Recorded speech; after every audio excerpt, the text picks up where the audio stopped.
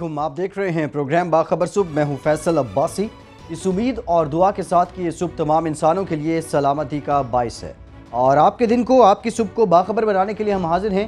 میرے ساتھ موجود ہیں نامور صحافی، سینئر تجزیہ کار، ایڈیٹر روزنامہ ninety two news Rao Khalid صاحب۔ بہت شکریہ راؤ صاحب، آپ کے وقت کا۔ ان کے ساتھ موجود ہیں بہت ہی ووکل، وائبرنٹ سہیل اقبال بٹی صاحب۔ بہت شکریہ بٹی صاحب، آپ کے بھی وقت کا۔ آج کے پروگرام میں پہلی خبر جو ہمارے پاس ہے، بظاہر تو پاکستان پیپلز پارٹی کے لیے یہ اچھی خبر ہے۔ سابق صدر آصف زرداری پر نیب میں جو مقدمات درج تھے، ان میں سے آخری مقدمہ بھی اب اپنے اختتام کو پہنچنے والا ہے۔ اور جو ہمارے پاس اطلاعات ہے اس کے مطابق اس مقدمے میں بھی آصف زرداری سرخرو ہو جائیں گے، کیونکہ نیب اس مقدمے کی کوئی خاص پیروی کرنے میں ناکام رہا ہے۔ لیکن اس خبر کے مندرجات کیا ہیں؟ اور آصف آصف زرداری اگر بری ہو جاتے ہیں تمام مقدمات میں، تو اس کے پاکستان پیپلز پارٹی کی سیاست پر کیا اثرات مرتب ہوں گے یہی جانتے ہیں سہیل اقبال بھٹی صاحب، پاکستان پیپلز پارٹی کیا اس بات کو بنیاد بنا کے جو ان پہ کرپشن کا لیبل تھا اس کو ختم کر پائے گی اور پھر سے عوامی پذیرائی حاصل کر پائے گی؟ فیصل سابق صدر آصف علی زرداری پر کرپشن کے مجموعی طور پر چھ ریفرنسز نیب کی جانب سے عائد کیے گئے تھے اور اس کے بعد ہم نے دیکھا یہ ریفرنس عائد ہوئے تھے دو ہزار اور دو ہزار ایک کے اندر۔ لیکن اس کے بعد پھر جب دو ہزار سات میں این آر او ہوا تو یہ تمام جو کرپشن کے ریفرنسز تھے ختم کر دیے گئے۔ لیکن اس کے بعد دو ہزار نو میں سپریم کورٹ آف پاکستان نے جب این آر او کو کلدم قرار دیا تو یہ مقدمہ دوبارہ سے بحال ہوئے۔ لیکن اس وقت آصف علی زرداری صاحب ایوان صدر میں براجمان ہو چکے تھے اور اس انہیں آن کا آرٹیکل دو سو اڑتالیس کے تحت استثنا حاصل تھا۔ یہ مقدمات اس وقت نہ چل سکے۔ جب ان کی آئینی مدت پوری ہوئی تو اس کے بعد دوبارہ یہ مقدمات کھلے۔ لیکن نیب نے افسوس کے ساتھ انتہائی کمزور طریقے سے ان مقدمات کی پیروی کی۔ بیشتر ثبوت جو کلیکٹ کیے گئے تھے سابق صدر پرویز مشرف کے دور کے اندر، ان کو اس طریقے سے پیش نہیں کیا گیا۔ اور ultimately year Y gold reference کی ہم بات کریں ایس جی ایس کوٹیکنا کی بات کریں ارسرس ٹریکٹر ریفرنس کی بات کریں، وہ تمام مقدمات اور کسی جگہ کچھ کیسز کے اندر تو جب وہاں پر ان کو یہ ناگزیر قرار دیا گیا کہ ان کو ہم نے بری کروانا ہی ہے، تو اصل ریکارڈ ہی نائب نے غائب کروا دیا۔ تو ایک کیس کے اندر آصف علی زرداری صاحب اس بنیاد پر بری ہوئے تھے۔ کہ نیب کا اس ریفرنس سے متعلق جو دستاویز تھے، دستاویز تھیں، وہ اصلی موجود نہیں تھے۔ پانچ ختم ہو چکے ہیں، یہ چھٹا آخری ریفرنس ہے اور یہ ریفرنس ہے آمدن سے زائد اثاثے بنانے کا۔ آف شور کمپنیوں کا اس وقت سے یہ سلسلہ چل رہا ہے۔ بیرون ملک ان کی تھی اثاثے بنائے گئے۔ لیکن جب سے یہ پناما کا معاملہ شروع ہوا اور ساری توجہ نواز شریف صاحب کی جانب تھی، تو پیپلز پارٹی کی جانب سے فروق چنائک صاحب نے احتساب عدالت کے اندر ایک درخواست دی جس کے اندر انہوں نے کہا کہ ڈے ٹو ڈے ہیرنگ ہونی چاہیے۔ احتساب عدالت نے پیپلز پارٹی کی یعنی فروق نائک کیا۔ بھی موقف سنا نیب سے رضامندی مانگی اور پچھلے چھ سات روز کے دوران مسلسل ہیرنگ ہوئی ہیں اور خاموشی سے کہ یہ کیس اپنے منطقی انجام کی طرح بڑھ رہا ہے، جو ظاہری طور پہ لگ رہا ہے کہ یہ کیس ختم ہونے جا رہا ہے۔ اس کی وجہ کیا ہے؟ اس کی وجہ یہ ہے کہ یہ جو آمدن سے زائد اثاثے بنانے کا کیس تھا، اس کے اندر جو سارے ثبوت جو حاصل کیے تھے، جو اس کا انیلیسس کیا تھا، جو عدالت کے اندر جو تحقیقاتی رپورٹ پیش کی تھی وہ نیب کے فینینشل کرائم ونگ کے جو ایڈوائزر تھے بیرسٹر جوید مرزا صاحب، انہوں نے سارا تیار کیا تھا۔ انہیں سٹار وٹنس کہا جاتا ہے کہ جس نے آپ نے ساری انکوائری رپورٹ تیار کی ریفرنس تیار کیا، انہوں نے وٹنس کے طور پہ پیش ہونا ہے۔ سب کچھ اسٹیبلش ہو گیا۔ اس کے بعد جب اب فیوچر کے اندر ان کو لگ رہا تھا کہ انہوں نے جو برسٹر جوید مرزا ہے، ان کی گواہی بہت اہمیت کی حامل ہے۔ تو پیپلز پارٹی کے دور کے اندر ہی، جس وقت وزیر داخلہ رحمان ملک صاحب تھے اس وقت سے بیرسٹر جوید مرزا صاحب پاکستان سے غائب ہیں۔ اچھا نہ صرف وہ پاکستان سے غائب ہیں، ایف آئی اے کا سارا ریکارڈ کھنگال مارا گیا ہے۔ وہاں پر بیرسٹر جوید مرزا صاحب کا بیرون ملک جانے کا کسی جگہ کے اوپر کوئی ثبوت موجود نہیں ہے۔ احتساب عدالت کو یہ بات بتائی گئی۔ وہاں سے انہیں اشتہاری ڈکلیئر کروایا گیا۔ نیب نے کوششیں کی۔ آج تک برسٹر جوید مرزا کو پروڈیوس نہیں کیا گیا۔ نیب پریشان ہے ظاہری طور کے اوپر کہ برسٹر جوید مرزا کو زمین نکل گئی، آسمان کھا گیا، وہ گئے کہاں کے اوپر؟ کیونکہ ریکارڈ، سرکاری ریکارڈ میں ان کی کسی ملک، دوسرے ملک جانے کی اور پاکستان موجودگی کی ان کے پاس ریکارڈ موجود نہیں ہے۔ یہی وہ سب سے بڑا گراؤنڈ ہے فاروق نائک صاحب صاحب کے پاس، جس کی بنیاد کے اوپر وہ اپنے کیس کو کنٹیسٹ کر رہے ہیں۔ انہوں نے دو سو پینسٹھ سی آر پی سی کے جو لا ہے، اس کے تحت انہوں نے درخواست دائر کی کہ نیب کے پاس ثبوت اس کیس کو ثابت کرنے کے لیے جو تمام ریکوائرمنٹ ہونی چاہیے تھی نیب آرڈیننس کے مطابق وہ پوری نہیں ہو رہی۔ لہٰذا سابق صدر آصف علی زرداری کو باعزت بری کیا جائے۔ تقریباً جو اس کی ہیرنگ ہے وہ فائنل سٹیج پر پہنچ چکی ہیں جو قانونی ماہرین ہیں جو اس کیس کو جانتے ہیں اور جو اس سمجھتے ہیں کہ جب تک برسٹر جوید مرزا کا احتساب عدالت میں پیر نہیں ہوتے اس وقت تک وہ تمام ثبوت کوئی وقت نہیں رکھتے۔ جس کی وجہ سے آصف زرداری صاحب بری ہو جائیں گے۔ جب وہ جی۔ بری ہوتے ہیں تو یقیناً پیپلز پارٹی کے لیے مورل گراؤنڈ کے اوپر ایک بڑی ان کی ایک فتح ہوگی۔ مسلم لیگ نون اور ان کے دیگر جو ناقدین ہیں آج تک وہ زرداری صاحب کے اوپر کرپشن کے جو ایلیگیشن لگاتے رہے ہیں کہ وہ مختلف ادوار کے اندر انہیں مختلف خطاب بھی دیے گئے۔ جی۔ ان کے پاس ایک کلین چٹ ہوگی اپنے پاس کہ میں عدالتوں میں گیا ہوں وہاں پر مقدمات مجھ پر ثابت نہیں ہو سکے۔ چھ کے چھ ریفرنس تھے وہ ختم ہو چکے ہیں۔ اور اس ان تمام ریفرنسز ختم ہونے کے اندر ان کو بیل آؤٹ کے اندر کرنے میں نیب نے مؤثر طریقے سے بھرپور کردار ادا کیے بدقسمتی کے ساتھ۔ لیکن زرداری صاحب کی آپ قسمت کہیے یا قدرت ان پر مہربان ہے وہ اس جی۔ چھٹے مقدمے سے بھی بری ہونے جا رہے ہیں۔ ٹھیک ہے۔ راؤ صاحب میں آپ سے جاننا چاہوں گا ثبوت نہ ملنا یا ثبوت کمزور ہونا کس کی کوتاہی ہے؟ یہ بنیادی طور پہ تو پراسیکیوشن کی ہوتی ہے ذمہ داری سارا اس نے کرنا ہوتا ہے۔ لیکن اس میں ایک وقت تھا جب نائنٹی سکس میں محترمہ بینظیر بھٹو کی گورنمنٹ ڈسمس کی گئی فاروق لغاری صاحب نے کی۔ تو اس وقت انہوں نے ایڈوائزر لگایا تھا نجم سیٹھی صاحب کو جو ان معاملات کو تحقیقات اور یہ سارے معاملات کو دیکھ رہے تھے اور وہ اب ریگریٹ بھی کرتے ہیں کہ اس وقت ہم نے جو احتساب کا عمل شروع کیا تھا وہ اچھا نہیں کیا تھا اس تو ان سے شروع ہوا، پھر سیف الرحمان جن کو احتساب الرحمان بھی کہتے ہیں، وہ آئے۔ انہوں نے پھر بڑی بھرپور طریقے سے اس کی پرسوینس کی اسحاق ڈار صاحب ان کے ساتھ ہوتے تھے لنڈن اور سب جگہ پہ جا کے انہوں نے آف شور کمپنیز اور سرے محل اور ساری چیزیں ڈھونڈی انہوں نے۔ ان کے دعوے کے بقول بہت انہوں نے ملینز آف ڈالرز خرچ کیے اس کے اوپر۔ اس کے بعد یہ اس کی بڑی زبردست طریقے سے انہوں نے سارا کیس بنایا، سارا کچھ کیا۔ لیکن لگ یہ رہا تھا کہ اس میں کوئی بہت بڑی کوئی چیز ان کے ہاتھ نہیں آئی۔ تو الٹیمیٹلی کیا ہوا کہ جسٹس قیوم کو فورس کیا گیا کہ آپ ان کو سزا دیں۔ وہ ٹیلی فون بدنام زمانہ ٹیلی فون کال جو پھر سامنے آئی، منظر عام پہ آئی، تو اس پہ سزا انہوں نے سنا دی میاں صاحب کے کہنے پہ اور سیف الرحمان کے کہنے پہ۔ تو لیکن سپریم کورٹ کے پاس سامنے جب ٹیپ آئی تو وہ نہ صرف یہ کہ وہ سزا انہوں نے سسپینڈ کر دی، واپس ہائی کورٹ کو ری ٹرائل کے لیے بھیج دیا۔ بلکہ ان دونوں جج صاحبان جو اس وقت چیف جسٹس ہائی کورٹ کے، سپریم کورٹ میں آ چکے تھے اور جیسے قیوم ان دونوں کو ریزائن بھی کرنا پڑا۔ بقول رضاز حسن کے جنہوں نے سارا کام کرایا تھا، ان کو کچھ نہیں کہا گیا۔ ان جج صاحبان کو فارغ کر دیا گیا۔ تو یہ بڑا عرصہ یہ سارا چل رہا ہے۔ ایک میں کہہ رہا ہوں کہ ایک وقت جب اس میں اتنی تیزی تھی، ان سارے معاملات میں کہ دھڑا دھڑ، مار دھاڑ شروع تھی، پکڑ دھکڑ اڑا دو، مار دو، گیارہ سال وہ جیل میں بھی رہے آزاد زرداری صاحب۔ بڑی لمبے طویل انہوں نے بھی شکر کو مارنے کی کوشش بھی کی گئی منہ کے ان کو کاٹنے واٹنے کی کوشش کی گئی اس پہ بھی سیفر مان نے کیس کیا۔ اور ایک یہ زمانہ آیا کہ کہہ رہے فٹافٹ سنو اس وقت تاریخیں لیتے تھے اب کہتے فٹافٹ کیس سنو فٹافٹ ختم کرو اس کو ذرا لیکن یہ خوش گمانی جو ہے یہ زیادہ دیر میرا خیال نہیں رہے گی۔ یہ پرانے کیسز تھے ختم ہو گئے کوئی بات نہیں۔ ابھی بہت سے نئے کیسز ہیں۔ ڈاکٹر عاصم صاحب کا کیس ہے شجیل میمن صاحب کا کیس ہے۔ اس قسم کے اور بہت سے کیس ہیں۔ کچھ ان کے عزیز و کارب کا نام بھی لیا جا رہا ہے۔ جی۔ تو یہ میرا نہیں خیال کہ اتنی جلدی ان کی جان اس سے چھوٹ سکے گی لیکن سیاسی طور پہ کیس ختم ہوں یا نہ ہوں اس وقت ان کی وہ پاؤں بارہ جس کو کہتے ہیں نا اس وقت وہ پانچوں گھی میں ہے سنا ہے کہ خفیہ ملاقات ہو بھی چکی ہے ان کے درمیان لاہور میں اپر مال کی کسی بلڈنگ کی بیسمنٹ میں ہوئی ہے۔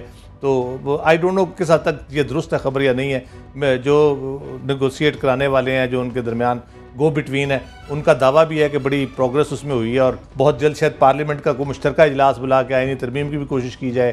کچھ صدر کو بھی چینج کرنے کی کوشش ہے اس قسم کی باتیں سننے میں جی۔ آ رہی ہیں لیکن ان کی سیاسی طور پہ اس وقت بڑی گڈی چڑی ہوئی ہے۔ آپ کہہ لیں آصف زداری صاحب کیسز سے قطع نظر کہ ان کے کیسز ختم ہوتے یا نہیں ہوتے لیکن میرا خیال ہے انہوں نے سزا بہت کاٹ لی ہے۔ اس ان کیسز پہ تو ان کو بری ہو جانا چاہیے۔ اگر کوئی نئے کیس بنتا ہے تو اس کا کچھ کہا نہیں جا سکتا، وہ کس حد تک درست ہوتا ہے۔ لگ یہ رہا ہے کہ آصف زرداری پہ اب قسمت جو ہے وہ مہربان ہونے جا رہی ہے ایک مرتبہ پھر سے۔ لیکن پاکستان پیپلز پارٹی کو لے کر یہ بہت بڑا سوال ہے کہ کرپشن کا لیبل جو پاکستان پیپلز پارٹی کے ساتھ جڑا ہوا ہے کہ آصف زرداری کی بریت اور دیگر کیسز جو ہیں، دیگر رہنماؤں پر جو کیسز ہیں ان کو لے کر پاکستان پیپلز پارٹی اس کرپشن کے لیبل کو اپنے اوپر سے ختم کر پائے گی یا نہیں؟ اور ایک جانب پیپلز پارٹی کے لیے کچھ اچھی خبریں آ رہی ہیں، لیکن دوسری جانب سابق وزیر اعظم نواز شریف کی مزاحمتی سیاست کی پالیسی انہی کے گلے کا توق بنتی جا رہی ہے۔ مولانا فضل الرحمان سے بھی انہوں نے شکوے کیے ہیں۔ آج کل جو جو مل رہا ہے، سابق وزیر اعظم کو اس سے وہ شکوے ہی کیے جا رہے ہیں۔ پھر مسلم لیگ نون کے اندر قائم مقام پارٹی صدر کے انتخاب پر بھی بہت سے رہنما ناراض ہیں۔ پھر اس کے ساتھ ساتھ یہ بھی خبر ہے کہ سپریم کورٹ نے والیوم ٹین نیب کے حوالے کر دیا ہے۔ بٹی صاحب والیوم ٹین کھلتا ہے اگر۔ اور اس کے ساتھ ساتھ جو موجودہ حالات ہیں، مسلم لیگ نون کے اندر کے معاملات، پھر مزامتی سیاست، آئندہ مہینے میں، دو مہینے میں مسلم لیگ نون کے لیے بھی کیا کوئی اچھی خبر ہے؟ فیصل، جب نواشی صاحب نے مری سے، مری کے پہاڑوں سے نیچے اترے تھے اور اسلام آباد سے انہوں نے جی ٹی روڈ کے ذریعے لاہور کا سفر کا آغاز کیا تھا، اس وقت بھی پارٹی رہنماؤں نے اور اسپیشلی شباز شریف صاحب نے انہیں کچھ کہا تھا کہ تھوڑا سا ہاتھ ہولا رکھیں، تھوڑا سا کوئی درمیانی راستہ اختیار کرتے ہو آگے بڑھیں تاکہ جب معاملات کوئی درمیان میں کوئی ہمیں آپشن ملے بھی صحیح کہ ہم نے سیاسی معاملات کو سلجھانا ہے، تو ہمیں کوئی مشکلات کا سامنا ہو۔ لیکن انہوں نے وہی اپنی مزاحمتی سیاست جاری رکھی، تابڑ توڑ حملے کیے آئین و قوانین کے خلاف انہوں نے بیانات بھی دیتے رہے، اداروں کو بھی للکارتے رہے۔ لیکن الٹیمیٹلی جو ان کے مائنڈ کے اندر ڈیزائن تھا اور جن لوگوں کے ساتھ جو ان کے کانفیڈنس کی وجہ تھے اس طریقے سے چیزیں ان کو چلتی دکھائی نہیں دے پا رہی۔ اسپیشلی ہم نے ایک دو مرتبہ پہلے سٹوریز کی تھی کہ ظاہری طور پہ ہمیں لگ رہا تھا کہ پیپلز پارٹی بھرپور بڑی مخالفت کر رہی ہے، لیکن جو نواشی صاحب نے اس سارے صورتحال کا مقابلہ کرنے کے لیے جو ڈیزائن تیار کیا ہوا تھا، اس کے اندر پاکستان پیپلز پارٹی کا کلیدی کردار تھا۔ پھر زرداری صاحب واپس آئے، انہوں نے بھی دو ٹوک انداز میں تو کہا ہے کہ ہم میاں صاحب کو کوئی سپورٹ نہیں کرنے لگے، لیکن سیاست کے اندر یقیناً کوئی بات ہر پہ آخر نہیں ہوتی۔ لیکن اس سارے معاملے کے اندر مولانا فضل الرحمان صاحب اس احتجاجی تحریک سے پہلے اور اب بھی وہ نواشی صاحب کے ساتھ بھرپور معاملات کی حکمت عملی طے کرنے میں اور معاملات کو مختلف پارٹیز کے ساتھ چلانے کے اندر کردار ادا کریں۔ عوامی نیشنل پارٹی کے ساتھ بھی وہی رابطے میں ہیں۔ پیپلز پارٹی کا جو اہم ٹاسک تھا، زرداری صاحب کو کسی بھی جو سب سے بڑے چیلنج سے نکلنا ہے، وہ ہاؤس کے اندر ہو یا ہاؤس سے باہر۔ مولانا فضل الرحمان صاحب نے نواز شریف صاحب کو اس بات کی یقین دہانی کرا رکھی ہے کہ وہ زرداری صاحب کے ذریعے سے پیپلز پارٹی کو آپ کے ساتھ کھڑا کریں گے اور آپ اس بات کو یقین رکھیے۔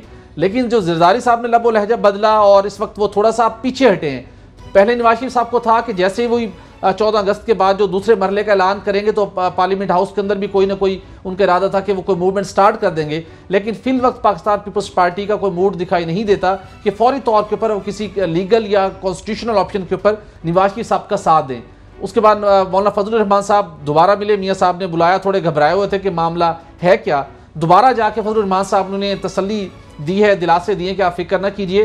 عوامی نیشنل پارٹی پیپلز پارٹی اور اس کے ساتھ ایم کیم کی جانب سے بھی ہم ان کچھ ایسی کنفرمیشن ہے کہ وہ ہمارے ساتھ ہوں گے کسی بھی آئینی ترمیم کے معاملے میں اور ہم ہاؤس کے اندر رہتے ہیں اور کچھ تبدیلی لانے کی کوشش کرتے ہیں۔ تو انہیں تسلی تو دی گئی ہے۔ آپ دیکھتے ہیں کہ آنے والے دنوں میں مولانا جی۔ فضل الرحمان صاحب کس حد تک کامیاب ہو پاتے ہیں۔ دوسری جانب قائم مقام صدر کا معاملہ تھا۔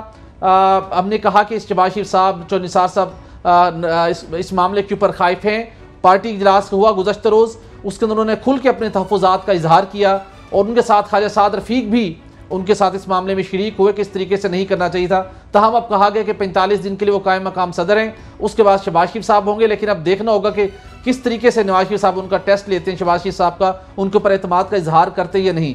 لیکن اب جو بڑی ڈیولپمنٹ ہوئی ہے، جو کچھ لوگ الارمنگ کہہ رہے ہیں نواز شریف صاحب کے لیے جو نیب، سپریم کورٹ کو نیب نے نیب کی جانب سے رجسٹار کو پہلے درخواست کی گئی تھی کہ والیوم ٹین دیجیے۔ رجسٹار نے ان کی درخواست مسترد کر دی۔ نیب نے دوبارہ ایفرٹ کر کے والیوم ٹین حاصل کر لی ہے۔ اور اس کو یہ کہا جا رہا ہے، گزشتہ روز شام کو اس کو اوپن کر کے اس کی کاپیز نیب لاہور اور نیب ریول پنڈی کو بھی شیئر کر دی گئی ہیں۔ جس کے اندر مختلف ممالک کی جانب سے سعودی عرب اور یو اے ای، برطانیہ اور مختلف ممالک کے خطوط ہیں جو ان کی مزید کچھ ممالک اور کمپنیوں کے ساتھ سرمایہ کاری سے متعلق ہیں۔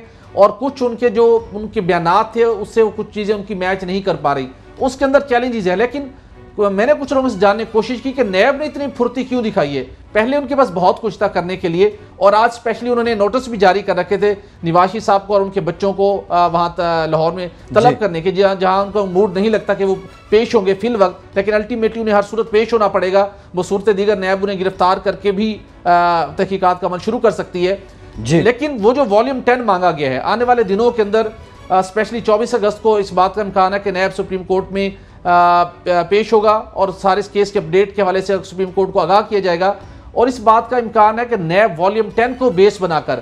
یہ موقف وہاں پر اٹھائے گا کہ یہ معاملہ جو آپ نے ہمیں چھ ماہ کا چھ ہفتوں کا ٹائم دیا ریفرنس تیار کرنے کا تحقیقات ہم نے مزید وسیع کرنی ہے فیصلے میں بھی کہا گیا تھا ہمیں مزید وقت چاہیے۔ نیب رولز کے مطابق بھی دس ماہ کا وقت چاہیے ہوتا ہے۔ جی۔ ہمیں آپ ٹائم دیں تاکہ والیوم ٹین کی روشنی کے اندر ہم کمپریہنسیو طریقے کے ساتھ تحقیقات کر سکیں۔ یہ ٹائم گین کرنے کے لیے اس چیز کو یوز کیا جائے گا آنے والے دنوں میں۔ ٹھیک۔ راو صاحب آپ سے میں جاننا چاہوں گا والیوم ٹین کھلنے کے بعد ممکنہ صورتحال کیا ہو سکتی ہے؟ دیکھیں والیوم ٹین کی ایکچولی اس میں میجر جو پارٹ ہے میری اطلاع کے مطابق وہ ہے میوچل لیگل اسسٹنس کے لیے جو خط لکھے گئے ہیں، وہ ہیں، یا کوئی ان کی غیر ملکوں میں، ایک دو ملکوں میں جو بہت ہمارے کہہ لیں کہ نیشنل انٹرسٹ کے حوالے سے بڑے سینسٹیو سمجھے جاتے ہیں، وہاں کی انویسٹمنٹ کا کچھ ذکر ہے۔ اس کا مجھے کنفرم نہیں ہے، سننے میں آ رہا ہے کہ شاید کوئی اس قسم کی انویسٹمنٹ بلینز آف ڈالر کی انویسٹمنٹ ہے جو دوسرے ملک میں، پڑوسی ملک میں ہے اور ایک اور ملک میں اس طرح سے، جو بڑا سینسٹیو ہے پاکستان کے حوالے سے اگر کہا جائے۔ تو اس کا آبویسلی اس پہ آئے گا لیکن اس کا امپیکٹ ان ریفرنسز پہ نہیں آنا چاہیے۔ بڑی صاحب کی بات درست ہے نیب کوشش کرے گا لیتو لال سے کام لے گا فیور دینا چاہے گا میاں صاحب کو جس طرح وہ لاہور جا کے ان کا انٹرویو کرنا چاہ رہے ہیں۔ ایک اس پہ میں بتا دوں تھوڑا سا میری پاس جو انفارمیشن ہے وہ آج میاں صاحب تو پیش ہو رہے ہیں۔ ان کے بچے بیٹے دونوں شاید نہیں ہیں ملک میں ان کے وکیل پیش ہو۔ اب نیب ان سے وکیلوں سے بات کرتا ہے نہیں کرتا یہ میاں صاحب جائیں گے آج؟ جی سننے میں آیا کہ وہ گیارہ بجے شاید آج پیش ہوں گے وہ۔ سننے میں یہی آ رہا ہے۔ وہاں کو پولیس کے ارینجمنٹس وغیرہ بھی مانگی گئی ہیں۔ سیکورٹی کے لیے بھی اس قسم کی باتیں بھی ہوئی ہیں۔ لیکن نیب کی طرف سے کوئی فارمل ریکویسٹ نہیں گئی تھی۔ وہ کہا یہ جا رہا ہے کہ وہ ارینجمنٹ بہرحال ہونی ہے وہاں پہ سیکورٹی کی۔ تو بیٹے ان کے نہیں پیش ہو رہے، ان کے وکیل پیش ہو، بیٹے شاید ملک میں نہیں ہیں۔ تو بہرحال پیش تو ان کو ہونا پڑے گا وہ سارا۔ لیکن بات یہ بنائی طور پہ کہ کل جو انہوں نے انٹرویو دیا ایک غیر ملکی نشریاتی ادارے کو اس میں ان کی گفتگو سے تھوڑا اندازہ ہوا ہے کہ تھوڑا سا جی ٹی روڈ یاترا کے بعد ان کی طبیعت کو تھوڑی بحال ہوگی اب تھوڑا ریلیکس کیا، انہوں نے ٹھنڈے دل سے سوچا ہے۔ اب لگ رہا ہے کہ وہ احتجاجی سیاست شاید نہ کریں۔ تھوڑا پیچھے ہٹیں اس چیز سے۔ پھر یہ ریفرنسز وغیرہ جب چلیں گے، اس میں بھی آپ کو پتہ چلے گا۔ لیکن جب آپ دار کی کرسی سے ہٹ جاتے ہیں اور لوگوں کو یہ یقین جیسے جیسے ہوتا چلا جاتا ہے کہ آپ واپس نہیں آئیں گے، تو یہ فضل الرحمان صاحب ہوں، زرداری صاحب ہوں، اور سیاستدان ہوں یہ بھی اسی طرح دور ہوتے چلے جائیں گے جیسے ان سے وزیر اعظم کی کرسی دور ہو گئی ہے۔ اس طرح سے آہستہ آہستہ ان کی سیاسی جو کہہ لیں کہ ایک قدر ہے، اس میں کمی ہوتی چلی جائے گی ڈیویلیو ہوتی چلی جائے گی وہ ان کی ڈے بائی ڈے لیکن ایز پولیٹیکل پارٹی کل بھی ہم نے ذکر کیا تھا، مسلم لیگ کا انٹیکٹ رہنا بہت ضروری ہے۔ وہ ذرا آج جو انتخاب ہوا ہے انتخاب کیا بلکہ نومینیشن ہی تھی چودھری صاحب صاحب جس طرح سے اس پہ اعتراض کیا۔ وہ بڑا سیریس ایشو ہے جی۔ بنیادی طور پہ۔ اس میں بہت اندر کی جو چیزیں ہیں وہ گڑبڑ ہیں۔ چوری نثار صاحب کا جو ریئیکشن تھا وہ کافی سیریس تھا۔ چوری نثار صاحب پرہیپس خود پارٹی نہ چھوڑیں۔ لیکن اگر کوئی ایسے لوگ جو بغاوت کرنا جی۔ چاہتے ہیں ان کو وہ روکیں گے نہیں جو ان کے جاننے والے ہیں تعلق والے لوگ ہیں ان کو وہ یہ نہیں کہیں گے کہ آپ پارٹی چھوڑ کے نہ جائیں۔ اگر وہ چھوڑنا چاہیں گے تو چوہر نثار صاحب کو ان کو روکنے کے لیے رول پلے نہیں کریں گے۔ خود وہ شاید رہے۔ مجھے ایک خبر یہ بھی ملی ہے کہ چوہر نثار صاحب کو کوئی اس قسم کا لالچ بھی دیا جا رہا ہے کہ آپ کو کسی بہت اہم عہدے پہ ہم فائز کر دیتے ہیں۔ ایک بہت بڑی شخصیت کو ہٹا کے ان کی جگہ پہ آپ کو بٹھا دیتے ہیں۔ تو آپ آرام سے اگلے باقی ٹائم گزاریں ہیں سکون سے کوئی مسئلہ نہیں ہوگا آپ کے لیے۔ جی۔ تو وہ لیکن وہ میرا نہیں خیال کہ اس چیز پہ ایگری کریں گے کیونکہ جس طرح سے ان کی رہی ہے ہمیشہ سے باصول اور جس طرح سے انہوں نے اپنے سٹینڈ لیا ہے سارے ایشوز کے اوپر اور ابھی تک اس پہ قائم ہے اور وہ درست قائم ہے۔ آہستہ سے میاں صاحب بھی آ جائیں گے اسی پیج پہ جس پیج جی۔ پہ جو انصار ہے۔ وہ ذرا ڈینجرس لگ رہا ہے مجھے وہ ایک پہلو اس کا۔ ادروائز جو ہے نیب کے کیسز ہی کافی ہے میاں صاحب کے لیے پولیٹیکل پارٹی کے طور پہ تو مسلم لیگ کو انٹیکٹ رہنا چاہیے۔ ٹھیک۔ دوسری جانب راؤ صاحب ہم یہ بھی دیکھ رہے ہیں کہ چودھری نثار جو ہیں وہ شکوے کر رہے ہیں گلے کر رہے ہیں۔ لیکن پارٹی سے بغاوت فی الحال نہیں کر رہے ہیں۔ پارٹی کے اندر ہی ان کے معاملات چل رہے ہیں۔ نیب کا ہم نے تذکرہ کیا اور اس کے بعد پاناما معاملے کو لے کے بالخصوص والیوم ٹین کو لے کے اب نیب جو تحقیقات کر رہا ہے، وہ تو اپنی جگہ ہیں۔ لیکن کچھ نیب کے اندرونی معاملات کا بھی تذکرہ کر لیتے ہیں۔ خلاف قانون تقرریوں میں برطرف کیے گئے افسران کو نیب میں دوبارہ تعینات کرنے کی تیاری کر لی گئی ہے اور برطرف کی گئی چار افسران کو بطور کنسلٹنٹ نیب میں تعینات کیا جائے گا۔ بٹی صاحب، اس خبر کی تفصیلات میں آپ سے لینا چاہوں گا۔ لگ یہی رہا ہے کہ پرانے مال کو نئی پیکنگ میں لایا جائے گا، لیکن یہ کس قانون کے تحت پیکنگ کی گئی ہے؟ فیصل، مجھے تو تمام اپنے میں نے ذرائع سے بھی جاننے کی کوشش کی اور اس کے ساتھ ساتھ میں نے اپنے آفیشلی بھی نیب کے ترجمان سے بھی رابطہ کرنے کی کوشش کی تاکہ ہمیں پتہ چل سکے کہ کون سا ایسا نیا قانون آ گیا، کون سا ایسا درمیانی راستہ نکال لیا گیا جس کے تحت ایک ایسے افسر کو، جسے باضابطہ انکوائری کے بعد اسٹیبلش کر دیا جاتا ہے کہ اس کی تقرری غیر قانونی تھی۔ وہ اس عہدے پر فائز ہونے کا مجاز ہی نہیں تھا۔ جس جس دن اس کی تقرری ہوئی تھی، وہ اس دن سے اس کو، اس کی تقرری کو غلط قرار دیتی تو انہیں ٹرمینیٹ کیا گیا، برطرف کیا گیا۔ اب دوبارہ انہیں کس طریقے سے آپ ہائر کر سکتے ہیں؟ تو یہ کویسچن تھا۔ تاہم اس کا جواب آفیشلی تو نہیں مل سکا، لیکن سٹوری یہ ہے کہ سپریم کورٹ آف پاکستان کے اندر نیب کے کچھ افسران پہنچے تھے۔ گزشتہ سال انہوں نے درخواستیں دائر کی تھیں۔ کہ ہمارے ساتھ زیادتی ہو رہی ہے، ترقیوں کے معاملے کے اندر بھی اور اور اپوائنٹمنٹس کے معاملے میں بھی۔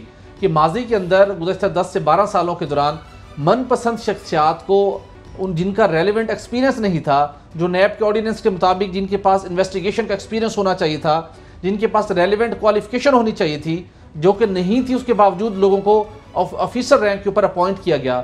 نیب نے اسٹیبلشمنٹ کو آرڈر کیا۔ پہلے نیب نے خود انکوائری کی۔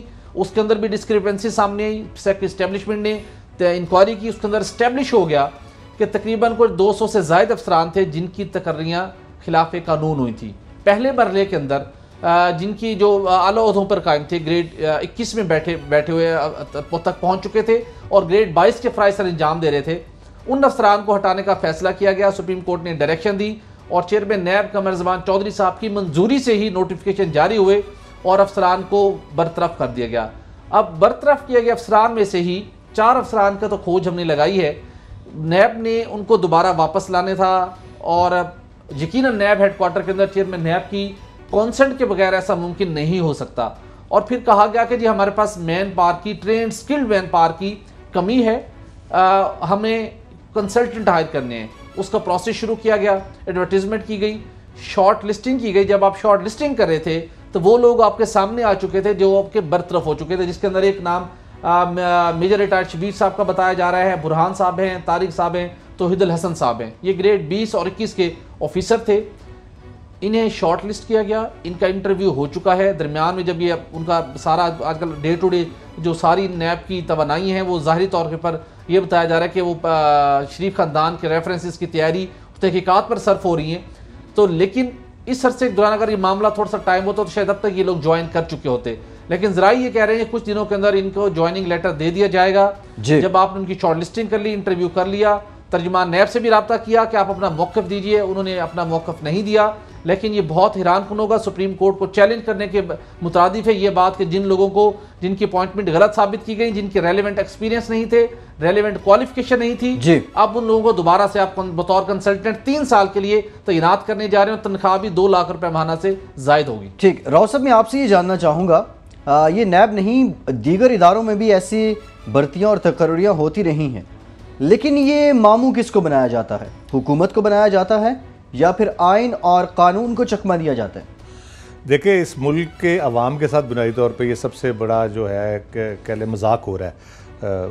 ماموں تو ملک کے عوام ہی بنتے ہیں at the end of the day ان کے ٹیکس پیئر کے ٹیکس پیئر کی رقم سے ان کو تنخواہیں ملتی ہیں، ان کا سارا خیال رکھا جاتا ہے، ہر قسم کی فیسلٹی ملتی ہے۔ ہر قسم کی عیاشی کرتے ہیں عوام کے اس ٹیکس کے اوپر۔ لیکن ملک کا نقصان اوور آل ہوتا ہے۔ عوام کا الٹیمیٹلی عوام کا ہی ہونا ہے نقصان، ملک کا جب آپ کا نقصان ہوتا ہے۔ ملک کوئی ایسی آئسولیشن میں تو چیز ہوتی نہیں ہے۔ عوام سے مل کے بنتی ہے، قوم ہو تو ملک ہوتا ہے۔ تو وہ بنیادی طور پہ گورننس کے آپ کے ایشوز پھر آتے ہیں۔ آپ جب میرٹ پہ بھرتی نہیں کرتے، نالائق لوگ بھرتی کرتے، جن کو پتہ نہیں ہوتا چیزوں کا، وہ پھر اسی قسم کا کرتے ہیں۔ بھٹی صاحب نے بالکل درست کہا، سپریم کورٹ نے جب کہہ دیا ان کو بلکہ یہ اس میں انٹرسٹنگ یہ سپریم کورٹ نے ان کو کہا تھا کہ ہم آپ نکالتے ہیں یا ہم ٹرمینیشن ان کی کریں۔ تو انہوں نے پھر خود لسٹیں بنا کے ان کو خود انہوں نے تسلیم کرتے ہوئے ان کو فارغ کیا تھا کہ ہاں یہ یہ لوگ ہیں۔ ان کو اپنے ریٹائرمنٹ بینیفٹس دے کے یا واٹ ایور وہ اس کو تھوڑا فائدہ پہنچانے کو سپریم کورٹ نے تھوڑا سا لینٹ ویو لیا تھا۔ لیکن بات یہ سپریم کورٹ کے حکم پہ نکال دیا۔ اب دوبارہ دوسرے طریقے سے رکھ رہے ہیں۔ وہ کہتے ہیں رند کے رند رہے، ہاتھ سے جنت نہ گئی۔ تو یہ دوبارہ سے ان کو بھرتی کرے۔ نیب کے چیئرمین جاتے جاتے یہ کمال دکھانا چاہتے ہیں۔ میرا خیال ہے ان کے کوئی تعلق والے لوگ ہیں، کوئی دوست لوگ ہیں، ان کو اکاموڈیٹ کرنا چاہتے ہیں۔ چلے دو تین سال یہ مزے کر لیں میں جب چلا جاؤں گا، میرا کچا چٹھا بھی کھلنا ہے اس کے بعد، تو شاید اس کو حشب کرنے کے لیے یہ لوگوں کو لا رہے ہوں اندر، کہ یہ لوگ اندر بیٹھیں تو کم از کم میرا جو حساب کتاب ہے وہ نہ کہیں کھل جائے۔ تو یہ ایک آپ ڈیفائنس دیکھتے سپریم کورٹ کے آرڈرز کی۔ چاہے حدیبیہ پیپر بل کی اپیل کا کیس ہو جی۔ اس کو on the face of the court انہوں نے کہا جی نہیں جی میں تو نہیں اپیل کروں گا۔ اب یہ جو تحقیقات ہو رہی ہے جس طرح ریفرنس چل رہا ہے مجھے ون لائن بتائیے گا توہین عدالت نہیں ہو جاتی ہے توہین عدالت ہونی چاہیے سپریم کورٹ کو اس کا نوٹس لینا چاہیے کہ کس طرح سے انہوں نے کیا۔ میرا خیال ہے کورٹ کو موو کر دے گا۔ جو لوگ متاثرین تھے پہلے جو پہلے گئے تھے وہ دوبارہ چلے جائیں گے۔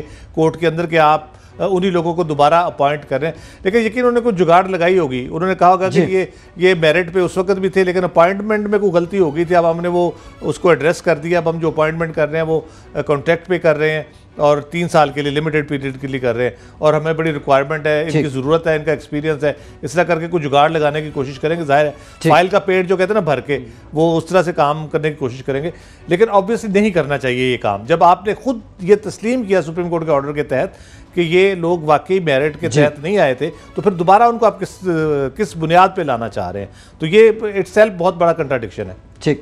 راؤ صاحب، کچھ دیگر معاملات پہ بھی بات کریں گے۔ وزارت دفاع اور وزارت پیٹرولیم کے درمیان جو ٹھن گئی ہے، اس معاملے پر بھی محکمہ داخلہ سندھ نے عید الاضحیٰ پر قربانی کی کھالے جمع کرنے کے لیے ضابطہ اخلاق بھی جاری کر دیا اور عالمی افق پر کیا اور اس سے متعلق بھی بات کریں گے۔ ایک بریک کا کہا جا رہا ہے، ہمارے ساتھ رہیے گا۔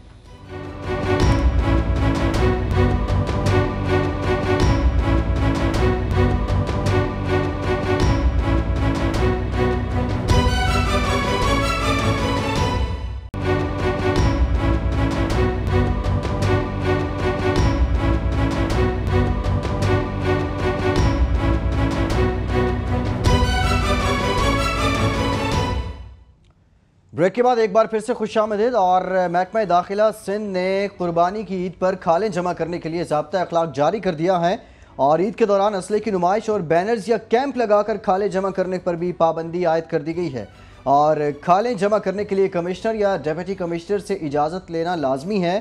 رجسٹرڈ مدارس اور تنظیموں کو کھالیں جمع کرنے کی اجازت ہے۔ اجازت نامے کی کاپی بھی پاس رکھنی ہوگی۔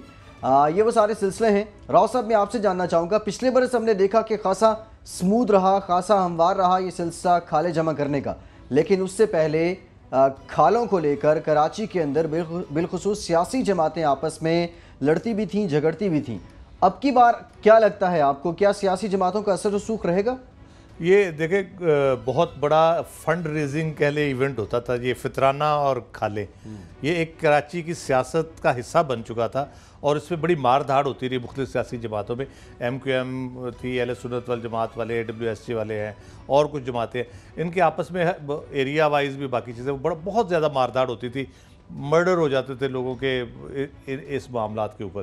تو یہ کچھ سالوں سے یہ معاملہ تھوڑا بہتر ہوا جب سے رینجرز نے وہاں پہ آپریشن شروع کیا، یہ چیزوں کو انہوں نے دیکھنا شروع کیا، اور یہ اس کو، وہ اس کرمنلٹی کا حصہ تھا۔ یہ جو اسٹریٹ کرائم جو ہوتا تھا، اس میں یہ بھی ایک بہت بڑا ہوتا تھا کہ یہ ساری فنڈنگ کر کے اس کے بعد اس کو اس سے ان کو پیمپر کیا جاتا تھا جو لوگ ٹارگٹ کلر تھے یا جو سیاسی بنیادوں پہ لوگوں کو تشدد یا ٹارچر کرنے کا سارا سلسلہ ہوتا تھا۔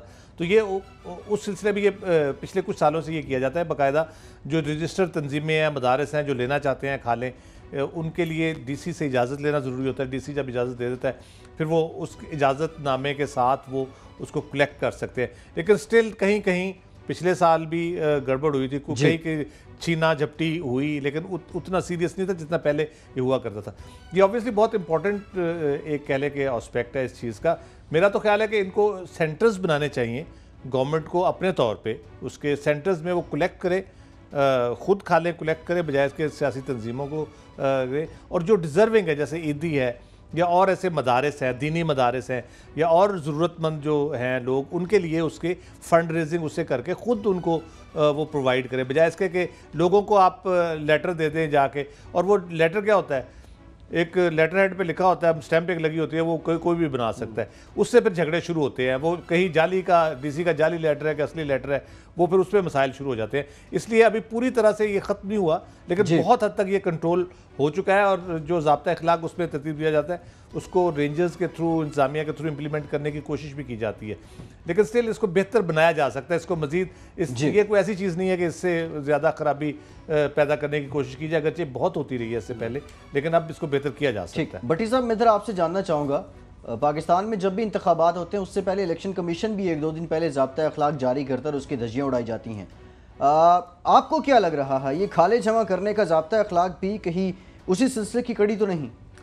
فیصل، ٹرینڈ تو یہی بتاتا ہے، لیکن اس معاملے کے اندر تھوڑا سا یہ کیس تھوڑا ڈیفرنٹ ہے، چونکہ محکمہ داخلہ سندھ نے تو یقیناً یہ ضابطہ اخلاق جاری کیا، لیکن اس کے ساتھ پولیس کے علاوہ دیگر ادارے بھی گزشتہ چند سالوں سے جب کھالوں کا سلسلہ شروع ہو جمع کرنے کا سلسلہ شروع ہوتا ہے، تو وہ بھی کڑی نظر رکھے ہوتے ہیں۔ اور اسپیشلی سندھ کے کراچی کی ہم بات کریں تو کراچی میں رینجرز بھی اس چیز کو مانیٹر کر رہی ہوتی ہے۔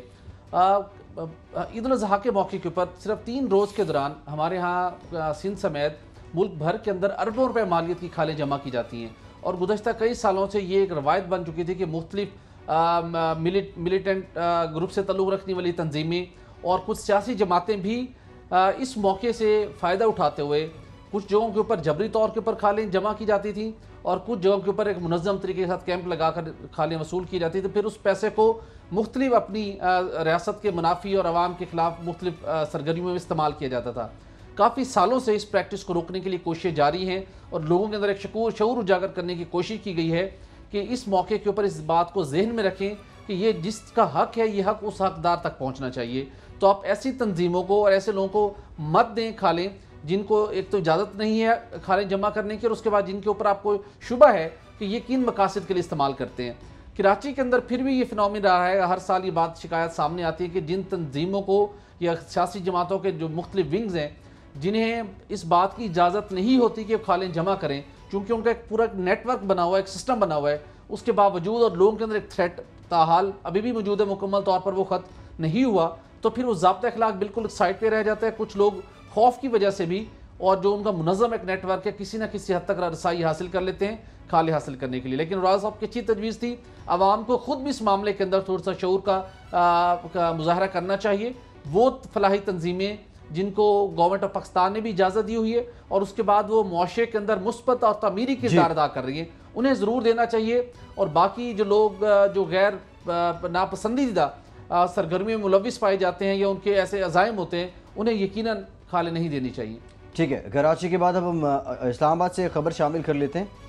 وزارت دفاع نے پیٹرولیم مصنوعات کی دستیابی اور ذخیرے کے تعین کی ذمہ داری اوگرا کو دینے کی مخالفت کر دی ہے اور اسٹریٹجک اور دفاعی شعبے کے باعث پیٹرولیم مصنوعات ماہانہ دستیابی کی منصوبہ بندی کا اختیار وفاقی حکومت کو ملنا چاہیے۔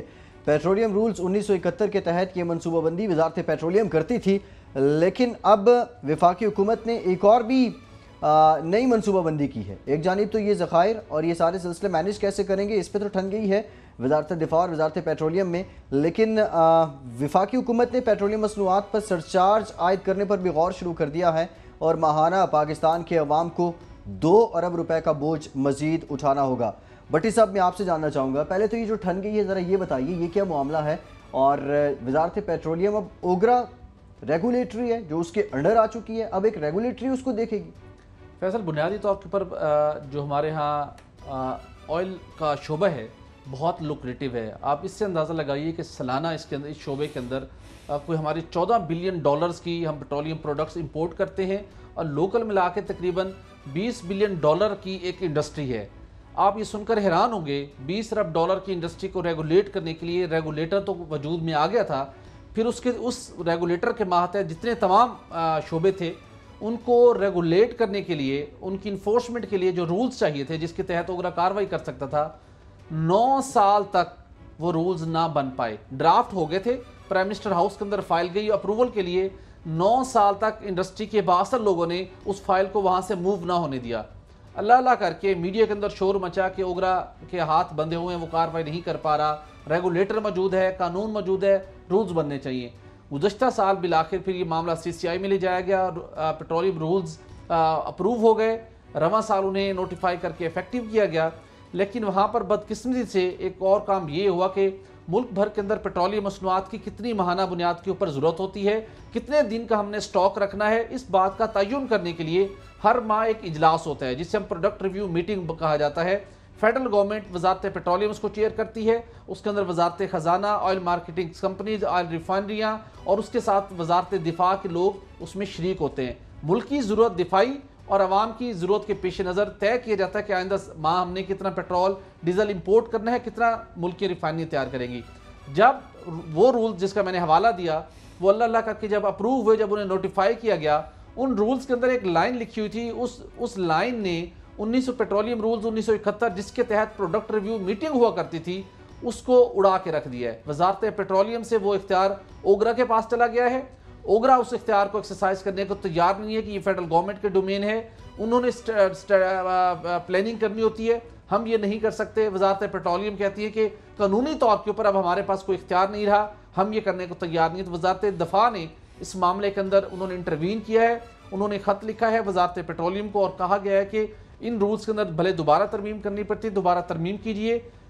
پٹرولیم مصنوعات کی طلب اور سپلائی کی جو تعین کرنے کا طریقہ کار ہے، وہ فیڈرل گورنمنٹ کے پاس رہنا چاہیے۔ اس ایک تنازع بن گیا اس کو حل ہونا ہے چند دنوں کے اندر۔ اس کے بعد ایک اور بڑا کام ہونے جا رہا ہے، جس کی تیاری کی جا رہی ہے۔ اس وقت ہمارے یہاں ملک کے اندر پٹرولیم مصنوعات کا جو ذخیرہ ہے، وہ ذخیرہ کرنے کی صلاحیت اکیس دن کی ہے۔ وزیر پٹرولیم جب شاہد خان عباسی صاحب تھے، ان کی انڈرسٹینڈنگ تھی۔ اس کو بڑھانا چاہیے۔ دو ہزار چودہ کے اندر کرائسس جو بحران آیا تھا جی۔ اس سے بہت مسائل پیدا ہوئے تھے کہ اس کو پینتالیس دن کو ہونا چاہیے۔ پینتالیس دن کا آپ نے اگر کرنا ہے تو آپ کو آئل سٹوریج مزید ڈیولپ کرنی پڑے گی۔ اربوں روپے کی اس کے اوپر انویسٹمنٹ ہے۔ قومی خزانے میں پیسہ نہیں ہے۔ کمپنیاں پیسہ لگانے کو تیار نہیں ہے۔ درمیانی راستہ یہ نکالا گیا کمیٹی قائم کی گئی تھی۔ اس کمیٹی نے سفارش کی ہے کہ پیٹرول اور ہائی سپیڈ ڈیزل پر بجلی کی طرح بجلی کے صارفین کے اوپر جس طرح سرچارج عائد کیا گیا ہے پیٹرول اور ہائی سپیڈ ڈیزل پر آپ دس پیسے فی لیٹر سرچارج عائد کر دیں جس کے نتیجے میں ماہانہ فیڈرل گورنمنٹ کو دو ارب پیسے زائد کی رقم ملے گی اور پھر اس رقم سے آئل جی۔ آئل سٹوریج ڈیولپ کی جائے اور اس کی سیکیورٹی کا انتظام کیا جائے۔ ٹھیک ہے۔ راؤ صاحب برگ گرتی ہے تو بیچارے مسلمانوں پہ مجھے یہی جملہ یاد آ رہا ہے۔ یہ سارے سرچارج عوام سرچارج عوام سے ہی کیوں نکالے جاتے ہیں؟ میرا خیال ہے سستا پڑے گا اس طریقے سے ورنہ تو یہ ایل این جی ٹرمینل کی طرح کسی کمپنی کو دے کے آٹھ دس مہینے میں بنوا لیں گے یہ سٹوریج کیپیسٹی اس کے بعد وہ ملینز آف ڈالرز جانے شروع ہو جائیں گے ٹانٹ کر گئے ہیں عباسی صاحب پہ۔ وہ وہ پھر نہیں یہ انہوں نے کیا طریقہ اختیار ایک ایل این جی ٹرمینل بن گیا ایک بننے والا ہے سنا ہے اس پہ بھی بڑی دھوم مچی ہوئی ہے اس کے بھی بڑے بڑے لوگ اس میں شامل ہیں۔ حکمران خاندان کے بھی کچھ دور پار کے عزیز بھی شامل ہے اس میں۔ اور صاحب اس پہ پراؤڈ فیل کرتے ہیں جی اور وہ ہاں بالکل وہ کہتے ہیں ملکی مفاد میں کیا نیب کو انہوں نے اسٹیٹمنٹ جو دیا انہوں نے کہا ملکی مفاد میں ہم نے کیا اگر اس میں کچھ اونچ نیچ بھی ہے تو وہ کوئی اتنے میں نہیں رکھتی کیونکہ ملک کا مفاد اس میں تھا۔ تو وہ اس بنا پہ یہ بنیادی طور پہ یہ جو سارا قضیہ ہوا ہے یہ ایک بیڈ گورننس کی مثال ہے۔ کہ آپ نے اسٹیک ہولڈرز کو پوچھا نہیں فیصلے کیے جا رہے ہیں آپ۔ پوچھ تو لیں بھائی اوگرا سے پوچھ لیں کہ آپ کر سکتے ہو نہیں کر سکتے۔ انیس سو اکہتر سے ایک چیز چلی آ رہی ہے بڑے سموتھلی چل رہی ہے کہ اس میں پرابلم نہیں آیا اس طرح سے۔ اسٹوریج کیپیسٹی کا پرابلم ضرور ہے۔ لیکن یہ کبھی نہیں ہوا کہ جی وہ میٹنگ میں کوئی گڑبڑ ہوگی ہو اس کی وجہ سے کوئی آپ نے فیصلہ غلط کر لیا ہو۔ اتنے سالوں سے یہ چالیس اڑتالیس سال سے یہ اگر چھیالیس سال سے اگر ٹھیک چل رہا تھا معاملہ تو اب کیا پرابلم تھی آپ کو؟ اوگرا کو اگر با اختیار آپ نے بنانا تھا تو وہ لوگ جو اس وقت سارے دیکھ رہے تھے، اس کا ایک امنڈمنٹ اس طرح سے کر دیتے رولز میں کہ وہ ساری وہی کمیٹی بیٹھ جاتی، اس کو ریویو کرنے کے لیے مہینے کے بعد۔ اوگرا، ٹھیک ہے، OGRA as a figure head کے طور پہ اوگرا چیئرمین بیٹھ جائے یا جو بھی بیٹھ جائے، اسی کمیٹی کو آپ انکلوڈ کر دیتے، اس کو حل کیا جا سکتا تھا۔ لیکن مسئلہ یہ ہے کہ اس کو جب آپ سٹیک ہولڈر کو اس میں شامل نہیں کریں گے، تو پھر اسی قسم کی آپ کو پرابلمس فیس کرنا پڑے گی۔ ابھی بھی کوئی اتنا میرا خیال ہے کوئی بہت بڑا نقصان نہیں ہوا۔ یہ نو ڈاؤٹ سینسٹیو ایشو ہے اس میں اسٹریٹجک آپ کی چیزیں آتی ہیں بہت سی آپ کے بیری جہاز چلنے ہوتے ہیں جو نیوی کے ہیں آپ کے ہوائی جہاز جو جیٹ جہاز ہے جو آپ جی۔ ایئر فورس کے ہیں آپ کے ٹینک چیزیں۔ ساری اسٹریٹجک آپ کی جو کنزمپشن ہے، اس کی وہ بہت ایک بڑا حصہ ہے اس کا، جو آپ نے اس کو یوز کرنا ہوتا ہے۔ پھر آبویسلی ملک کے اندر ٹرانسپورٹ بھی اتنی اسٹریٹجک ہے جتنا یہ کہہ لیں کہ ملٹری پارٹ ہے اس کا، اتنا سول پارٹ بھی اتنا امپورٹنٹ ہے۔ آپ کی ساری سرکاری مشینری کی موومنٹ آپ کے باقی دیگر معاملات عام آدمیوں کی موومنٹ جو ہے، آپ کی ٹرینیں چلیں تو یہ بہت سینسٹیو ایشو ہے اٹ سیلف ایک دن یہاں پہ تھوڑا سا افواہ اٹھ جائے کہ پیٹرول کم ہونے لگا تو جو حالت ہوتی ہے یہاں پہ پیٹرول اور اس کی جی۔ جس طرح سے شاپروں میں اس طرح بک رہا ہوتا ہے جس طرح پرائز ایک دم سے چلی جاتی ہے۔ تو یہ اتنا کوئی سیریس ایشو نہیں تھا۔ اگر تھوڑا سا عقل بندی سے کر لیتے تو یہ ٹھیک ہو جانا تھا۔ یہ اسی طرح سے کرتے ہیں بیٹھ کے کوئی ایک صاحب آرڈر کرتے ہیں اس کے بعد ہو جاتا ہے۔ بعد میں پتہ چلتا ہے کہ ہو یہ تو غلط ہو گیا۔ اس کے بعد ان کو پھر ڈریسل نہیں آتا۔ اب اس میں پھنسے پڑے ہیں کہ ایک دوسرے کے گلے ڈال رہے ہیں۔ اداروں کی آپس میں جو کنفیوژن ہے، اس کا خمیازہ بھی عوام کو بھگتنا پڑتا ہے۔ ایک اور خبر ہے، لیکن یہ خبر بھی اچھی نہیں ہے۔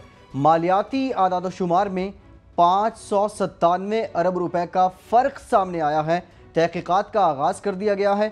گزشتہ تین سالوں کے دوران مالیاتی اعداد و شمار میں بڑا فرق پایا گیا ہے۔ پاکستان ڈیولپمنٹ فنڈ کے دوران ایک اشاریہ پانچ ارب ڈالر کو بھی دو مرتبہ ظاہر کیا گیا ہے۔ عالمی مالیاتی اداروں کے تحفظات ہیں اور، بٹی صاحب، آپ سے میں جاننا چاہوں گا کیا اعداد و شمار رد و بدل بجٹ خسارے میں کمی کا کوئی سلسلہ ہے؟ فیصل، کرکس یہی تھا اور گزشتہ کئی سالوں سے یہ پریکٹس ہوتی آئی ہے اور جب کبھی بھی کسی مالی سال کا بجٹ پیش کیا جا رہا ہوتا ہے، اس کے جو فگر سامنے آتے ہیں اور جو گورنمنٹ اپنی پرفارمنس شو کرتی ہے، اس کو میڈیا اور اپوزیشن جماعتیں اور کچھ ہمارے جو ماہرین ہیں معاشدان وہ ہمیشہ سے اس بات کو پوائنٹ آؤٹ کرتے ہیں کہ فگر فجنگ کی جا رہی ہے۔ اداد و شمار درست نہیں ہے۔ وہ جی ڈی پی گروتھ سے متعلق ہوں، وہ ٹیکس کلیکشن سے متعلق ہوں وہ بجٹ ڈیفیسٹ سے متعلق ہوں۔ تو اس کے اوپر کویسچن ریز ہوتے رہے ہیں، یہ کوئی نئی بات نہیں تھی۔ لیکن گزشتہ کچھ عرصوں سے عالمی مالیاتی اداروں جس میں آئی ایم ایف بھی شامل ہے، وہ بھی اس کے اوپر پوائنٹ پوائنٹ آؤٹ اس معاملے کر رہے تھے کہ آپ کہیں نہ کہیں فگر فجنگ کر رہے ہیں۔ آپ کا بجٹ ڈیفیسٹ زیادہ ہوتا ہے، لیکن آپ ہمارے ہاں پروگرام اس وقت چل رہا ہوتا ہے، آپ اس کو کسی نہ کسی طریقے سے کور کرتے ہیں، تو آپ کے یہاں ایک پروڈنٹ پریکٹس ہونی چاہیے، اس کو اڈاپٹ کریں۔ دو سن دو ہزار میں ملین کئی ملین ڈالرز کی انویسٹمنٹ کے بعد ایک پفرا سسٹم لایا گیا تھا، جس کا مقصد یہ تھا اکاؤنٹ اکاؤنٹنگ کا یہ سسٹم تھا کہ جب آپ نے اینڈ آف دا ایئر اپنے ایکسپینڈیچر کو ریکنسائل کرنا ہے، تو وہ ایک پروفیشنل طریقے کے ساتھ ہوں، اس کے اندر مین ہینڈلنگ کم ہو اور ایک سسٹم کے تحت چیزیں سامنے آئے تاکہ اس کے اندر یہ ڈسکریپنسی ہے فگر فجنگ نہ ہو سکے۔ وہ آج تک یہ سسٹم مؤثر طریقے سے کام نہیں کر سکا، یا تو اس کو مؤثر طریقے سے امپلیمنٹ نہیں کیا گیا۔ اور آج بھی ہم مینولی چیزوں کو کرنے کی کوشش کرتے ہیں، جس کے نتیجے میں جو گزشتہ تین مالی سال ہیں، ان گزشتہ تین مالی سالوں کے دوران جو ہمارے مالیاتی اعداد و شمار بھی تھے، اس میں پانچ سو ستانوے ارب روپے کا فرق ہے۔ یہ فرق کیا ہے بنیادی طور پہ؟ پر اب وزارت خزانہ نے، سیکٹری خزانہ نے کمیٹی قائم کی ہے جسے کہا گیا کہ آپ پچھلے تین سالوں کا سارا ریویو کریں اور پھر سلوشن دیں کہ کس طریقے سے ہم اس معاملے سے نکل سکتے ہیں۔ مسئلہ یہ ہوا کہ آپ کو یاد ہوگا دو ہزار تیرہ چودہ کے اندر سعودی عرب کی جانب سے گورنمنٹ آف پاکستان نے ایک اناؤنسمنٹ کی تھی کہ ہمیں ڈیڑھ ارب ڈالر کی، ڈیڑھ ارب ڈالر بطور گفٹ دیا گیا ہے۔ بڑا شور شرابہ مچا، تفصیلات پوچھنے کی کوشش کی گئی۔ ڈار صاحب نے کہا جی کہ یہ مشروط نہیں ہے، یہ بالکل ایک دوست ممالک کی طرف سے ایک، یہ ایک تحفہ دیا گیا ہے۔ اس رقم کو پاکستان ڈیولپمنٹ فنڈ کے اندر ریفلیکٹ کروایا گیا۔ اب وہ رقم ایک جگہ ایک جگہ وہاں پر پارک ہوگی، آپ نے اس کو کاؤنٹ کر لیا کہ یہ رقم آپ کی طرف آپ کے پاس ایک نان ٹیکس ایک ریونیو ہے۔ لیکن اس کے بعد اب گورنمنٹ نے جب اسی مالی سال کا جب کلوز ہونا تھا، تو آپ نے بجٹ ڈیفیسٹ کم ظاہر کرنا تھا۔ اسی رقم کو روٹیٹ کیا گیا کہ وزارت پانی و بجلی، دو پاور پلانٹ جو حویلی بہادر شاہ اور بلو قومی لگ رہے ہیں وہ خریدنا چاہتی ہے خود سے ایک کر کے انٹرنل خفیہ سے کہانی بنائی گئی جو کہ اب بعد میں منظر عام پر آئی ہے۔ فیڈرل گورنمنٹ کے پروجیکٹس ہیں اس کو وزارت پانی بجلی کو خریدنے کی ضرورت نہیں تھی۔ کاغذوں کے اندر شو کیا گیا کہ وزارت پانی و بجلی نے وہ دونوں منصوبے خریدے ہیں اور جی۔ پاکستان ڈیولپمنٹ فنڈ کے اندر جو ڈیڑھ ارب ڈالر رقم موجود تھی اسی رقم سے خریدے اور اس رقم کو دوبارہ ایک اور ہیڈ میں کہ ہم نے یہ چیز فروخت کی ہے دوبارہ اس رقم کے دوبارہ شو کیا گیا۔ دو مرتبہ اس رقم کو ظاہر کر دیا گیا۔ تو جس کی وجہ سے یہ ڈسکریپنسی پیدا ہوئی اس کے اوپر سوالات اٹھے کہ غلط پریکٹس جاری ہے سٹیٹسٹک ڈویژن کے اندر اور وزارت خزانہ کے اندر اب تین رکنی کمیٹی قائم کر دی گئی اس معاملے کا جائزہ لے رہی ہے اور اس کو یہ مینڈیٹ دیا گیا کہ وہ ریکمنڈیشن دے کہ اس مسئلے سے ہم کیسے نکل سکتے ہیں کہ ہمارے پاس اپنا ایک شفاف طریقہ کار ہونا چاہیے جس کے اوپر ملکی اداروں اور کو بھی اعتماد ہو کہ ہمارے داد و شمار درست ہیں اور عالمی مالیاتی اداروں جی۔ کو بھی اعتماد ہونا چاہیے راؤ صاحب ہمارے ہاں دو جمع دو چار کیوں نہیں ہوتا اور کمیٹی کا نتیجہ کیوں نہیں نکلتا؟ یہ دیکھیں یہ بڑی آپ نے بہت امپورٹنٹ بات کی ہے۔ دنیا میں جتنے معیارات ہیں، جتنے طریقہ کار ہیں جی ڈی پی کو آپ نے کیلکولیٹ کرنا ہو، آپ نے اپنے ریسیٹس کو کیلکولیٹ کرنا ہو، آپ نے اپنے ایکسپینڈیچر کو کیلکولیٹ کرنا ہو اپنے بجٹ ڈیفیسٹ کیلکولیٹ کرنا ہو، وہ بڑے پرٹیکولر اس کے معیارات ہیں۔ اتنی اسٹڈیز ہیں، اتنے فائنانس کے، اکاؤنٹنگ اینڈ فائنانس کی چیزیں ہیں۔ آپ بڑے آرام سے، اب تو سافٹ ویئرز ہیں، اسے آپ کر سکتے ہیں۔ لیکن ہم کسی معیار کو فالو نہیں کرتے۔ جی ڈی پی کی پرٹیکولرلی اگر آپ مثال لے لیں کہ آپ نے جی ڈی پی یہ شوکت عزیز صاحب نے یہ بدت شروع کی تھی۔ کہ جن شعبوں میں آپ کی پرفارمنس بہت اچھی ہوتی ہے آپ کو جی ڈی پی کی باسکٹ میں اس کو ڈال کے آپ جی ڈی پی کا ایک ویلیو نکال دیتے ہیں اس کو۔ حالانکہ اوورال ہوتی ہے آپ کی پرفارمنس یہ یہی طریقہ یہ اختیار کر۔ اس وقت یہ اسحاق ڈار صاحب اسمبلی میں کھڑے ہو گئے بڑی تقریریں کیا کرتے تھے کہ یہ بڑا فراڈ ہو رہا ہے یہ ہو رہا ہے ملک کے ساتھ چکر بازی ہو رہی ہے سینٹ میں تھے آئی تھنک اس وقت۔ تو اب یہ خود وہی کام کیے جا رہے ہیں کہ اس کو چکر بازی کر کے سارا کرتے ہیں۔ جہاں تک یہ ون پوائنٹ فائیو بلین والی بات ہے یہ بڑی انٹرسٹنگ چیز ہے۔ سعودی عرب بھی پوچھ رہا ہے کہ وہ ہم نے جو آپ کو ڈیڑھ ارب ڈالر دیا تھا وہ کہاں ہے؟ اور اس کے بدلے میں کیا کیا آپ نے؟ کیا کیا نہیں بدلے میں تو جو ہم کیا سو کیا۔ وہ پوچھ رہے ہم نے ڈیڑھ ارب ڈالر آپ کو دیا تھا تو وہ کدھر گیا؟ اس کا جب ہنگامہ مچا شور مچا تو انہوں نے اس کو یہ دونوں جگہ پہ نہیں ہے بائی دا وے جہاں وہ دکھا رہے ہیں ڈیولپمنٹ فنڈ میں اور جہاں وہ خرچہ کر رہے ہیں دونوں جگہ پہ نہیں ہے۔ بنیادی طور پہ اس کے بارے میں سنا ہے کہ وہ غائب ہو چکا ہے۔ جب وہ آیا تو اس کے ساتھ ہی غائب ہو گیا تو اس کے بعد ہنگامہ مچا اس پہ۔ کافی اپوزیشن نے بھی شور مچایا۔ پی ٹی آئی نے بہت زیادہ اس پہ شور مچایا کہ یہ one point five billion dollar سعودی عرب نے دیا تھا بھائی کدھر گیا؟ اور سعودی عرب نے خود اس پہ کوئری دی ہے کہ آپ ہمیں بتائیں کہ جی ہم نے دیا تھا آپ کو پیسہ وہ تو وہ کدھر گیا؟ اور بھی کچھ سینسٹیو اداروں نے بھی کنسرن شو کیا کہ بھائی پیسے کدھر گئے؟ تو انہوں نے اس کو دکھانے کی کوشش کی بنیادی طور پہ کہ جی ہم نے دو پلانٹ خرید لیے ہیں اپنے۔ ابا جی کو تحفے بھیج دیے پلانٹ خرید لیے پیسے نکال کے یہ اس قسم کے چکر بازی میں اسحاق ڈار صاحب ماشاءاللہ سے بہت ماہر ہیں۔ انہوں نے یہ کام جی۔ کیا۔ لیکن اصل بات یہ ہے کہ ریکنسلیشن ہر بجٹ کی ہوتی ہے۔ اصل فگرز آپ کے پاس بجٹ کے اس وقت آتے ہیں جب آپ کے پورے سال کی ریسیٹس اور ایکسپینڈیچر کی ریکنسلیشن ہوتی ہے۔ اس وقت آپ کو پتہ چلتا ہے کہ جو آپ دکھا رہے تھے، ہم نے جی اتنے خرب کٹھے کر لیے اور اتنا بچت کر لی سارا۔ ریکنسلیشن پہ آ کے آپ کو صحیح پتہ چلتا ہے۔ لیکن ہوتا کیا ہے اتنے ماڈرن دور میں بھی آپ کئی کئی مہینے لے لیتے ہیں۔ جون میں سال کمپلیٹ ہوا ہے ابھی یہ جا کے نومبر دسمبر تک ریکنسلیشن آپ کی چلتی رہے گی۔ یہ ابھی فرق نظر آ گیا ابھی انیشلی تھوڑا بہت آپ کو۔ اگر آپ نومبر دسمبر میں جا کے اس کو کریں گے حالانکہ پہلے جولائی کے اینڈ آف جولائی یہ ریکنسلیشن کمپلیٹ ہو جانی چاہیے۔ آپ کا بجٹ جو پاس ہوا اس میں آپ کو ریفلیکٹ اگلے بجٹ میں اس کو سیٹل کرنا چاہیے اس کو۔ یہ بہت لینتھی پروسیس یہ کرتے ہیں اس کو ٹھیک ہونے کی ضرورت۔ ٹھیک ہے۔ اور ایک ایک اور انٹرنیشنل جو منظرنامہ ہے، اس سے خبر، دلچسپ خبر سامنے آئی ہے کہ بیلجیم میں کم تعلیم یافتہ افراد کے لیے اب روزگار کے مواقع کم ہوتے جا رہے ہیں اور ایک مطالعاتی رپورٹ کے مطابق دو ہزار تیس تک چالیس فیصد مقامی افراد اعلیٰ تعلیمی ملازمتوں کو بھرنے کے قابل ہو سکیں گے اور دو ہزار ایک سے دو ہزار گیارہ تک بیلجیم اپنی انڈسٹری کی آئندہ ضروریات کا تعین کرنے میں ناکام رہا ہے۔ انتہائی اہم خبر ہے۔ بیلجیم نے اب یہ ڈیسائیڈ کیا کہ ہمیں پڑھے لکھے لوگ لانے ہیں۔ اگر ہمارے لوگ نہیں پڑھے شرح خواندگی گر رہا ہے، تو اس کے باوجود ہمیں جو کیپیسٹی بلڈنگ ہو جن لوگوں کی، ان کو لانا ہے اپنے ساتھ۔ لیکن میرٹ جو ہے، اس کا خیال رکھنا ہے۔ راؤ صاحب یہ مثال تو اچھی ہے۔ ایک جانب ان کے اپنے لوگ ناراض ہوں گے کم پڑھے لکھے ہیں اور وہ باہر سے لوگ لائیں گے۔ لیکن یہ میرٹ یہ انصاف، یہ اب کی کس چیز کی نشانی ہے؟ کیا یہ قومیں اسی طرح نام روشن کرتی ہیں؟ بالکل یہ بڑا لمحہ فکری ہے ہمارے لیے بیسک بڑا اس پہ سوچنا چاہیے ہمیں اس بیٹھ کے، کیونکہ ہمارے ہاں بھی کافی عرصہ ہو گیا اب یہ پانچویں پاس، آٹھویں پاس، دسویں پاس ایون بی اے پاس تک کو جاب اویلیبلٹی نہیں ہے اس طرح کی جو ہونی چاہیے، جو ہوتی تھی پہلے زمانے میں۔ آٹھویں پاس ٹیچر لگ جاتے تھے یا دسویں پاس پی ٹی سی کر کے ٹیچر لگ جاتے تھے۔ اب یہ یہاں پہ بھی کام ختم ہوتا جا رہا ہے۔ یہ ہم ہم تو اوورال جو ہماری مردم شماری ہونی تھی، ہم اتنا اس کو ڈیلے کر کے اب کر رہے ہیں۔ ہمیں تو پتہ ہی نہیں ہمارے پاس سینسز ہماری کیا ہے، ہمارے پاس لوگ کتنے پڑھے لکھے، کتنے ان میں سے۔ یہ تو آگے چل کے آپ نے پتہ کرا کتنے پڑھے لکھے لوگ ہیں، آپ کی ایک ریفلیکٹ کریں گے اوورال آپ کے اس کے لیے۔ لیکن ایک لحاظ سے یہ اچھا ہے کہ ہم اگر یہ دیکھیں اس جو لانگ ٹرم لوگ سوچتے ہیں آپ کو پتہ بلجیم کی ریکوائرمنٹ یہ آ رہی ہے۔ کینیڈا کی جو ہے اس میں مائننگ کی بڑی کیونکہ بہت وہ فور ہیڈ تھے دوسری جگہ۔ وہاں پہ ساٹھ پچپن ساٹھ ایج ایج جی۔ کے لوگ ہیں۔ نئے مائننگ میں لوگ نہیں آ رہے۔ یہ انٹرنیشنل جو یہ ویکیوم کریٹ ہو رہا ہے پاپولیشن ہماری طرح نہیں بڑھتی سارے ملکوں میں۔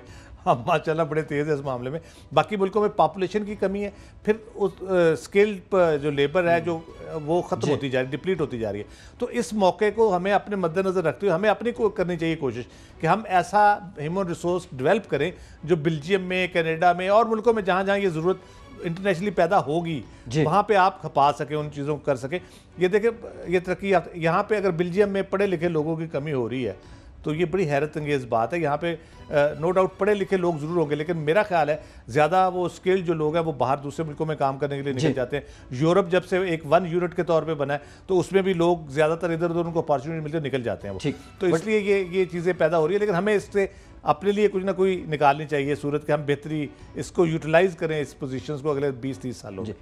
بٹی صاحب میں آپ سے جاننا چاہوں گا دنیا تو ایسے سروے کرتی ہے ہمارے کتنے فیصد لوگ بڑھ گئے ہیں کتنے فیصد رہ گئے ہیں لیکن ہمارے یہ سروے ہوتا ہے غربت کتنی بڑھ گئی کتنی نیچے ہوگی کبھی اس کا پیمانہ بدل دیا۔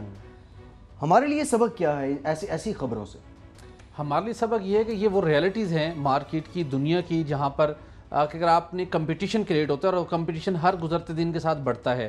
ہمارے ہاں بھی ابھی تک یہ ٹرینڈ موجود ہے لوگ اس طریقے سے ہائر ایجوکیشن کی طرف نہیں جا پا رہے۔ میٹرک بیچلرز کی طرف لوگ جاتے ہیں ان کے لیے بھی آنے والے دنوں میں پاکستان بھی مسائل پیدا ہوں گے۔ بیلجیم کے اندر اگر وہاں پہ یہ ایشو کریٹ ہو رہے ہیں، وہاں پر پاکستان سمیت دنیا کے دیگر مواقع کے لیے ممالک کے لوگوں کے لیے روزگار کے مواقع پیدا ہوں گے۔ ہمیں ترسیلات زر چاہیے ہوتے ہیں۔ ہمارا اس کے اوپر بہت زیادہ انحصار ہے۔ ہمیں اپنے سکلڈ لوگوں کو جب یہاں مارکیٹ میں سپیس بنے تو وہاں پر بھیجنا چاہیے۔ ٹھیک، بہت شکریہ۔ سہیل اقبال بٹی صاحب، آپ کا راؤ خالد صاحب، آپ کا آج کے پروگرام سے اتنا ہی فیصل عباسی کو اجازت دیجیے۔